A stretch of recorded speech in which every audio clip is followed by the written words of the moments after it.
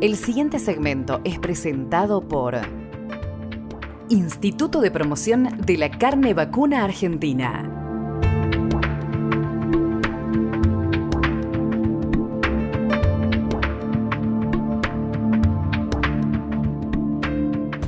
Después de un primer semestre donde el precio de la hacienda para faena a valores reales, es decir, ajustados por inflación, fueron los mayores desde 1959, en los últimos meses estos indicadores han comenzado a bajar.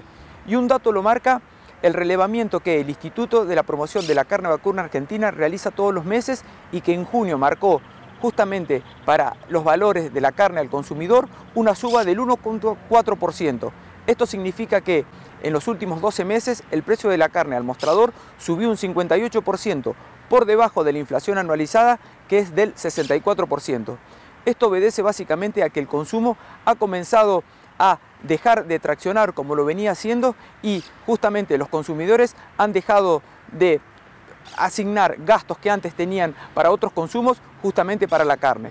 ¿Qué está sucediendo en los corrales? La faena en cuanto a precios, entre abril y junio, justamente en términos reales, los precios han caído un 15% y el ternero es el que más ha sufrido esa retracción, ya que desde marzo hasta ahora su caída en precios reales, es decir, ajustados por inflación, es del 18%.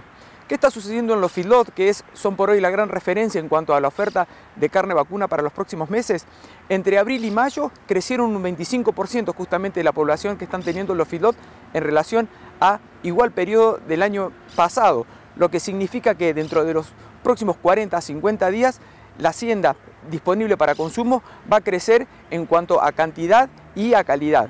¿Esto qué significa? Que para hacia fin de año el precio de la carne va a tender a mesetarse si el consumo no tracciona y si las exportaciones se mantienen en los valores actuales.